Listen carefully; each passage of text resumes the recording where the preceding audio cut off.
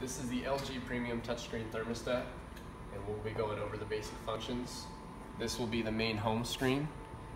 There's a power button up top. As soon as that is pressed, all the other options will be available. Mode, by pressing this, you can select between all the different modes. This will just go back to the main home screen. You can set your temp, your set point from here as well by simply pressing the positive or negative buttons.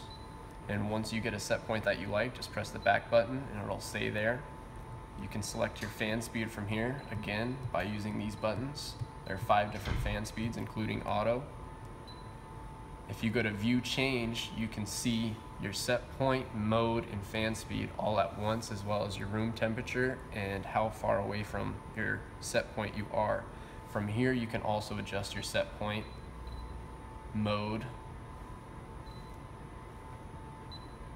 fan speed, and the flow of the air depending on what type of unit you have.